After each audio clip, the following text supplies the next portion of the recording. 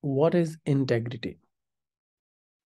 Integrity is making sure that the data or the information that you have for your organization has not been tampered. It has not been modified by any unauthorized person. Any authorized person who has the rights to modify and who has the need to modify the data, that is fine. But if there is a data that is being modified, unauthorized, that is where your integrity of the data, you're losing it. Now, for example, you have an account in any of the social media account, you save your phone number on that. The next time you log in, it is only you who is authorized to log in. Nobody else has logged in since the last login. You logged into the account, and when you see at the number, the number that you saved was 1234, for example. But now you see the 456 number. The number has modified. No unauthorized disclosure was done.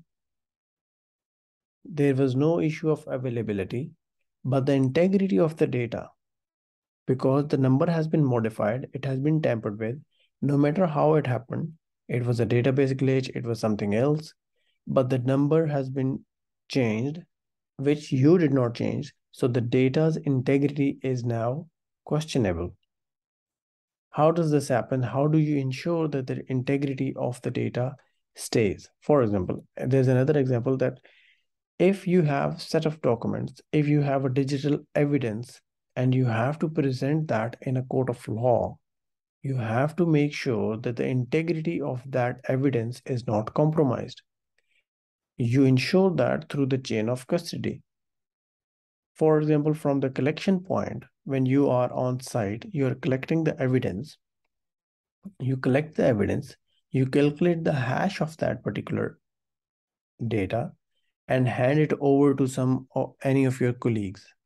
And you make sure that when you're handing over the data to your colleague, the hash stays the same.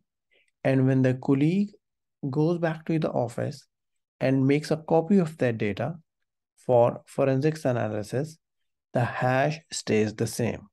If the hash changes, and that means the integrity of the data has been changed and possibly the chain of custody has been compromised as well. Maybe somebody else on the way changed something in the data.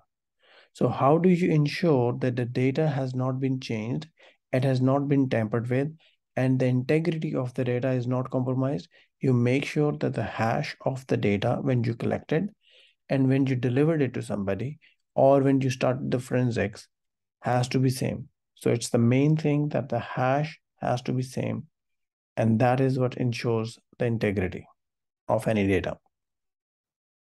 I hope this answer helps you while you answer your interview questions. If there are any comments, if you're, there is any feedback, please do let us know. Thank you so much.